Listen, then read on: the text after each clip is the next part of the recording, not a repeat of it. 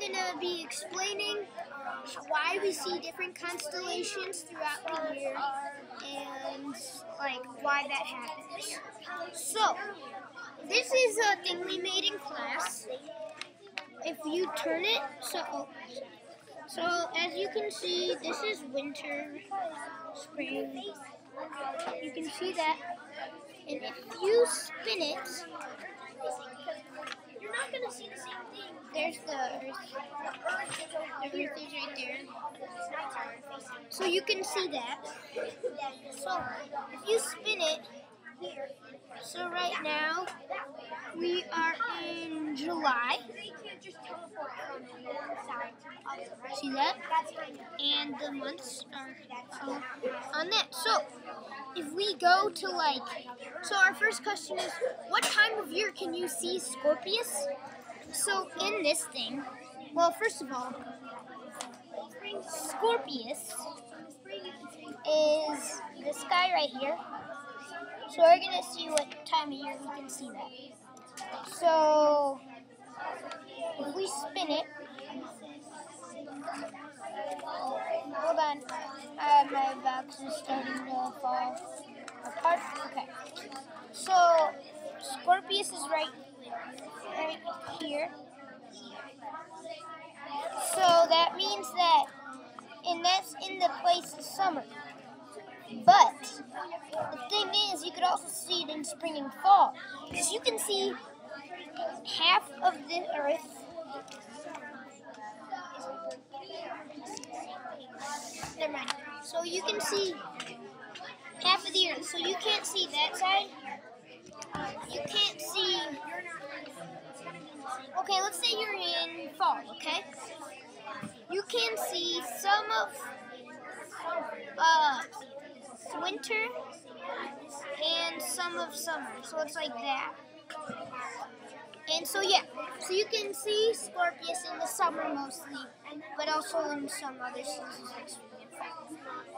So the next question is, what constellations do you see in March? So March is in the spring. So we'll move this to the spring. And that's the spring. This is winter fall. So I'm at March right now. Oh, hold on, my thing is falling apart here. Facing. Alright, so right now, we're in March. Right there. So right there is Orion, so we can see Orion. This is Taurus. Um, then we can also see some of these guys. So we can kind of see Leo and maybe Ursa Major. Is that Ursa Major? Yeah. So that's what kind of constellations you can see in March. Um, so now, uh, what evidence do we use to show that the uh, Earth orbit orbits the sun? So right now, sorry, uh, I'm gonna move this over here. This box actually is So that you're, you look down on this is the sun, okay? and if you face this These are all different constellations, and this is the Earth. So right now, I'm gonna move this over here actually because. I'm gonna see. So as you can see, I taped the floor, oh, and I showed the seasons. So right there is spring. Right here, spring. Over here is fall. Here is summer. I mean, yeah, summer. And then here is winter. Then, okay. So when this um uh so if Earth is right here in winter. Uh this is the nighttime in the back of it. This is facing let's say this is Orion, okay, because that's a winter constellation. So but if it is in the summer, um, you're facing the sun now.